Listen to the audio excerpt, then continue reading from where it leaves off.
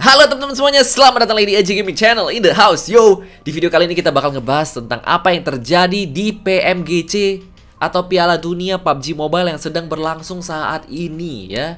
Dari kejadian kemarin yang kalian nungguin tapi gak mulai-mulai ya. Sampai ada yang komen, buset iklannya 5 jam segala macam. Tapi ada sesuatu yang terjadi di balik itu ya.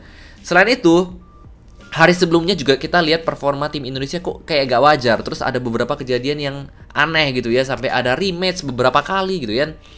Nah, di sini Bang Aji bakal uh, coba uh, menjelaskan ke teman-teman semua ya. Jadi, sebenarnya player-player dari seluruh dunia yang memenuhi kualifikasi, mereka udah ikut kualifikasi dan mereka lolos. Mereka itu pergi ke Dubai diundang untuk melaksanakan sunal eh sunal sunat dong. Final teman ya final PMGC. Kenapa? Supaya tidak ada terjadi perbedaan apa ya namanya ya? Fasilitas yang digunakan ya. Mereka menggunakan HP yang sama, menggunakan HP yang sama dari sponsor, kemudian menggunakan koneksi yang sama. Jadi semuanya adil ya di venue ya. Biasanya kayak gitu. Kalau kalian nonton dari yang pertama-pertama gitu ya, mereka ada di lingkungan yang sama sehingga tidak ada perbedaan kondisi antara satu pemain dengan yang lain. Jadi nggak ada alasan wah koneksi gue lebih jelek makanya kalah gitu ya. Nah, tetapi apa yang terjadi? Ternyata ada satu hal terjadi di sana. Mungkin sebagian besar dari kalian udah tahu, sebagian belum tahu ya. Jadi sebenarnya ini yang terjadi. Jadi, sebelum mereka mulai ya, pertandingan di PMGC, mereka pasti melakukan tes COVID sebelum masuk ke final PMGC. Dan ditemukan ada tiga pemain yang dinyatakan positif COVID, teman-teman. Tiga pemain dinyatakan positif COVID. Kondisi mereka tidak menunjukkan gejala apa pun dan masih dalam keadaan baik untuk saat ini. Tapi bayangin kalau lu tahu ya kan? Lu lagi main terus lu tahu siapa? Apalagi lu nggak tahu ya lu tahu ada yang covid tapi lu nggak tahu siapa gitu loh. Siapa ini yang covid?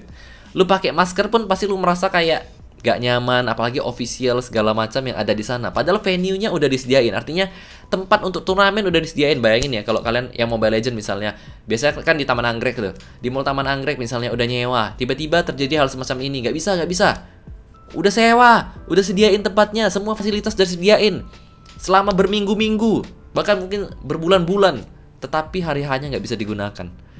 Betapa pusingnya mereka gitu ya nggak dari cuman biaya dari waktu dari plan B dari apa ya rencana kedua gitu ya.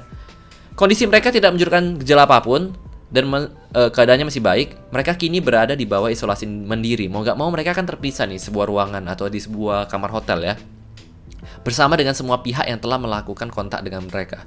Dan gue yakin yang kontak dengan mereka nggak cuman manajer orang di sekitar mereka.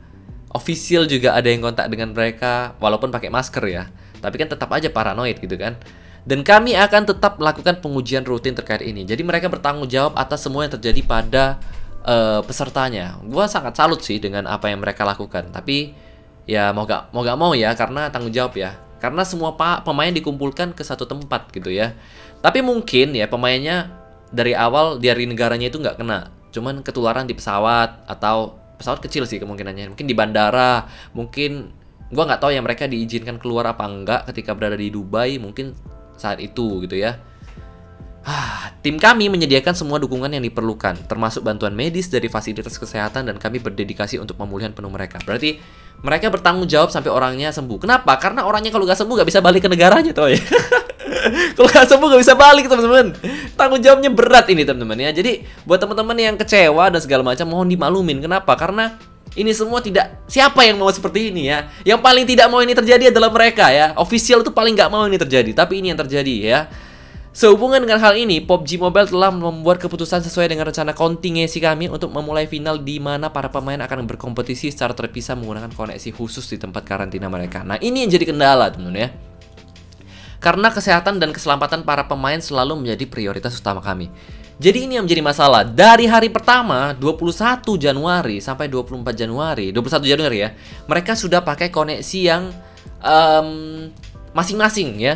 Jadi mereka tinggal di hotel masing-masing. Kalau kalian lihat dari story player-player Indonesia dari Bigetron misalnya ya, gua ngelihat juga dia ngejelasin Juksi Lucy, gua siapa ya bagus bagus yang jelasinnya jelasin kalau kondisinya itu seperti itu gitu loh ya dan uh, mereka sangat mengapresiasi kalau tim dari official sampai mikirin ini, ayo gimana caranya supaya ini tetap bisa berjalan sesuai jadwal. Karena mereka juga tidak mengantisipasi ini ya. Maksudnya ini terlalu terlalu liar gitu ya masalahnya, terlalu shock shocking gitu ya. Jadi mereka disediain kabelan dan segala macam, mereka bisa uh, bermain di kamar mereka dengan koneksi yang diharapkan ya gak ngelek. Tetapi pada faktanya ada beberapa kejadian yang terjadi waktu um, mereka bermain. Contohnya seperti ini temen ya, Bang Aji bakal nunjukin ya. Oke temen ya, jadi ini cuplikan yang Bang Aji mau nunjukin ke teman-teman semua tentang kejadian di hari pertama ya. Ini yang gue ingat, ini gue tonton, gue lagi nonton terus ah, kok gitu? Kenapa ini? Apa yang terjadi? Jadi ceritanya Bigetron turun bareng Alpha 7 di bootcamp. Tapi cuplikannya cepet banget ya. Dari bootcamp yang Microbe masih berusaha untuk nge-backup, Ryzen masih Jadi baru turun. Sama sekali kali ini hampir aja tercicir SP barnya. Langsung aja. mereka bergerak pelanan pasti mereka bergerak layaknya sebuah unit. Juksi udah kenok. Bisa hanya ada satu player doang yang sudah mulai memisahkan diri. Ya kan? Ini bakal ada close combat juga hampir mendapatkan satu player dan sudah mulai keluar dari bangunan U-nya. Mereka Lihat, mengambil di ya. tengah Luxi mundur ke arah belakang Microbe sudah keluar. Ryzen masih berusaha Ryzen kenok di sini teman-teman. Damage yang cukup dalam trading dan ternyata Ryzen kenok Micro Boy kenok Abis semua player Bigatron Sisa satu Luxi. Ya. Oke, okay, gue bakal skip aja. Kita bakal lihat apa yang terjadi berikutnya ya. Rata semua, sisa satu orang teman-teman. Di sini setelah beberapa saat teman-teman ya Inilah yang terjadi. Oke, okay, Luxi udah kabur ya. Kemudian kameranya berubah ke RRQ ya. Kalian bisa lihat di sini ini Airwolf ya. Mereka duluan yang ngontrol bootcampnya tadi. Wah gila, gue gak nyangka loh. Scream masih ke bawah sampai ke sini loh. Soalnya okay. Sanhok tuh cuma sekali dalam satu hari dan kita nggak tahu ya. Apa yang bakal terjadi setelah ini teman-teman? Lihat tuh, player Airwolf Potato gak gerak. Uh, bakal balik ya. Banyak banget apa ya keanehan yang terjadi di sini loh. Lihat tuh gak gerak si Potato. Tiba-tiba stop current match ya. Jadi tiba-tiba matchnya itu langsung di rematch. Artinya ada kejadian yang tidak diharapkan di sana. Nah, berdasarkan kisah dari beberapa pemainnya, dibilang kalau ketika mereka masuk ke dalam game itu ada yang bahkan stuck di loading. Jadi ya nggak bisa main temen-temen ya karakternya ada nggak tahu sih gue karakternya ada apa enggak intinya stuck di loading jadi mereka nggak bisa main jadi uh, bisa dikatakan ada masalah koneksi di sana Oke, kita bakal lanjut ya. Namun demikian, kami akan terus bekerja semaksimal mungkin untuk menghadirkan turnamen sesuai jadwal yang sudah ditentukan. Jadi kita, ya, sebagai penonton, mau gak mau ya, kita berharap yang terbaik dari semua ini. Dan kita tetap dukung tim uh, tim-tim dari Indonesia. Kenapa? Karena gue yakin ya, gak masuk akal. tim yang dulunya juara dunia tiba-tiba di bawah klasemen itu gak masuk akal. Ya. Pasti ada sesuatu yang terjadi di sana. Dan gue harapin sih, semoganya setelah kes, uh, apa namanya ya masalah teknis ini selesai performa tim tim tim dari Indonesia ini jauh membaik sesuai dengan yang sebelumnya ya. Waktu mereka scream waktu mereka uh, bertanding di kualifikasi itu benar-benar mantep banget ya. Kemudian kemudian terjadi hal semacam ini yang nggak diharapin. Sambil memastikan agar semua tim tidak dapat eh tidak dapat tim dapat bersaing di lingkungan yang aman dan adil. Jadi ini seadil mungkin ya. Sebisa mungkin koneksinya semuanya adil. Jadi katanya kemarin mau pakai WiFi, tapi WiFi kayaknya nggak adil sih menurut gua karena selama routernya ada yang jauh, ada yang dekat itu nggak adil. Kecuali router, semua dikumpulin dalam satu ruangan di dalam satu router yang sama, mungkin itu lebih adil. Cuman ya namanya corona kan nggak mungkin dikumpulin di ruangan yang dekat gitu ya. Semua pemain saat ini menjalani isolasi mandiri sebagai bagian dari tindakan pencegahan kami dan mereka akan berlomba secara terpisah mulai 21 Januari 2021. Nah, inilah yang terjadi teman-teman ya. Tak, ini masih final, belum grand final sih harusnya ya. Jadi um, gua nggak tahu ini bakal ditunda lagi atau gimana kalau ada masalah seperti kemarin tanggal 22 ya.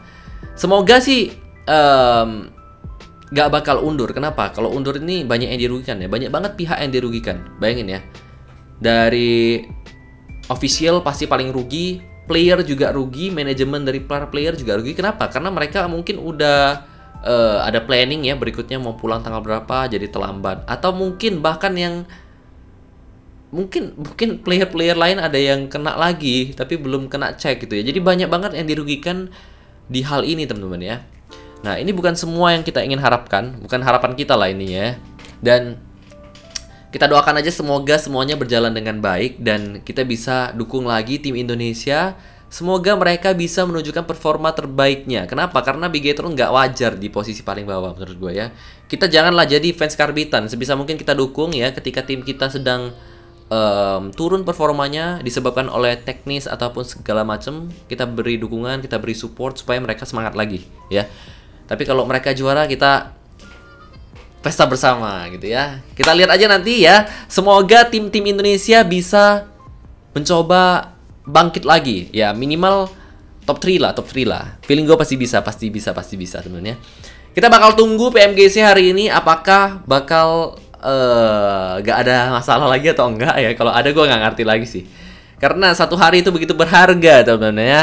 Gue nggak ngerti lagi itu. Soalnya mereka officialnya banyak orangnya. Berapa ruangan yang mereka sediakan untuk orang sebanyak itu ya? Semuanya itu terundur-undur-undur. Jadi kita sebagai penonton boleh kecewa tapi jangan menggunakan kata kasar, menghina, mencaci maki. Kita boleh kecewa.